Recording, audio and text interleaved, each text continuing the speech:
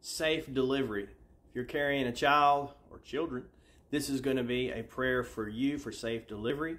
We've had children come back to life in the womb, so this this is some serious safety from the Lord, okay? So just close your eyes and relax. There's nothing for you to do. I'm praying for you. So just see if you feel anything in your body uh, as I pray. Please comment. Let us know what you feel or anything else that happens, okay? Just relax. Father, in Jesus' name, I just thank you for your grace, your peace, and your protection coming upon this mother and her child or children. In the name of Jesus Christ, we thank you for grace and peace in Jesus' name.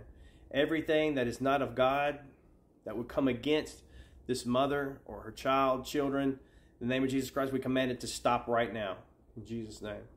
Whatever works of the enemy, whatever works from disease, death, whatever, in the name of Jesus Christ, we command it to stop now.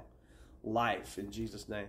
That life blossoms, that life, there's just more of it, more life in Jesus' name. Life around them, life in the mother's body, life in the child's body, life in children's body if it's twins or triplets, life.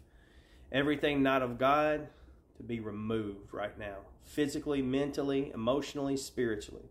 It's not of God out from this mother, out from this child. Thank you that the hosts of heaven and your hand provide perfect protection for this pregnancy. Father, we, we even believe in supernatural labor, pain free labor for this mother right now in Jesus' name. Everything not of God, go. Supernatural pregnancy, supernatural delivery, the morning sickness go, any sort of discomfort, anything. Let this be full of your grace, Lord, full of your grace over the child, the mother, the whole family, in Jesus' name.